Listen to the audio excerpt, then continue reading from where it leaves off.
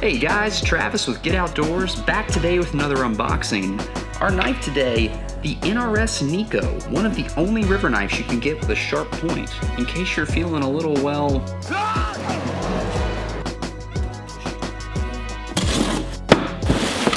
So today we're taking a closer look at Yak Attack's newest rod holder, the Zooka 2. It's actually a recreation of the original Zooka tube, which mounted using a screwball.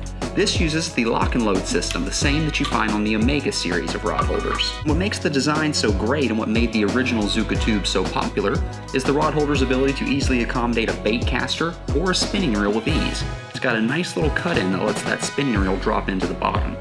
And with Yak Attack's new line of extension arms coming in 8 inch pieces or 4 inch sections, you can easily raise the height of your rod holder if you have a very high seat setting. Or perhaps you want to reduce the existing height of your Zooka tube. Just remove the 4 inch section that comes with it, and you've got something more similar to the Yak Attack Omega, where the rod holder is right down to the lock and load base.